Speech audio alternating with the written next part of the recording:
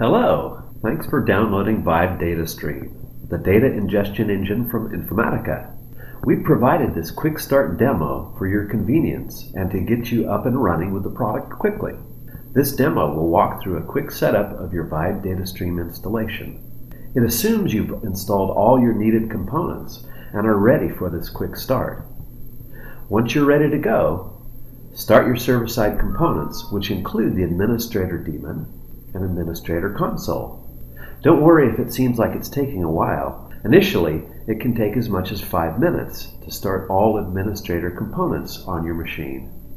The components on the node side are optional at this point, so you can choose to start them now or you can start them after you've created your topology and deployed it.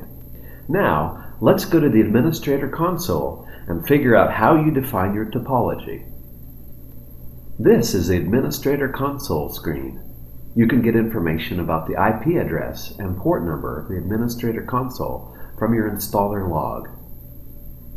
Once you log in, the first thing you'll do is create a new service for Vibe DataStream. The Vibe DataStream service has to be created only the first time you install the product. Beyond that, you'll be creating new data flows.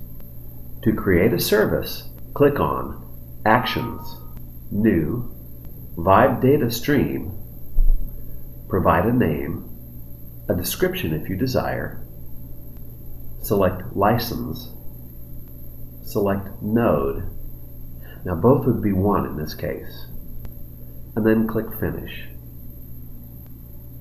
So once the service has been created, go ahead and click on Vibe Data Stream to start defining the topology. Now, you already see that a topology has been predefined here, but in most cases it will be a blank empty canvas. For our example today, we'll create a new data flow so we can start from scratch. To create a new data flow, right-click on All Data Flows, click on New Data Flow, and provide the information. You typically don't need to change anything other than the name, so the default values are good here. Once you've created a new data flow, go ahead and create new sources and targets as desired. For the example today, we'll use syslog as a source. To do that, just drag and drop syslog from the left-hand side pane. Provide the information.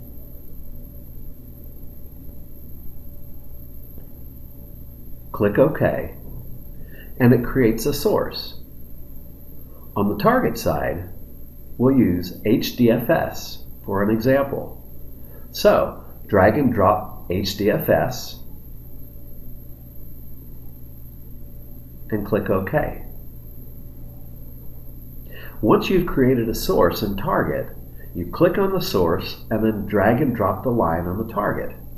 This will create the connection between the two, which shows the data flowing from syslog into HDFS. Once you have a basic topology defined, you need to go ahead and add new nodes to the source and the target. To add nodes, click on the source, go to the node on the right-hand side pane, click on Add, pick one from the existing list, or add a new one, and then click on Save. Similarly, you can go ahead and add one for HDFS and then save. And you're good to go. You can optionally decide to add transformations to this data flow as well, but we'll not get into that for right now. Once you have a basic topology defined, you can go back and click on Deploy, which will basically push out the configuration to all the nodes if the nodes are already running. If not, it will be kept with the zookeeper. But once the data flow is deployed, you can basically start your nodes and the data will start flowing as soon as the nodes are up. You can monitor your deployment by going to the Monitoring tab within the Administrator console, clicking on the service, and then going to the data flow you want to monitor. In this case, it was data flow 1. Since the node has not been deployed in this case, Both entities are showing as red since they're not up. But as soon as you deploy your data flow or your nodes, it will turn green and you will show the state of data flow to be active. Now, you can go back and click on the entity itself and get more information about what amount of data is flowing from the source into the target by the bottom of the page. And this concludes the quick demo for Vibe Data Stream from Informatica.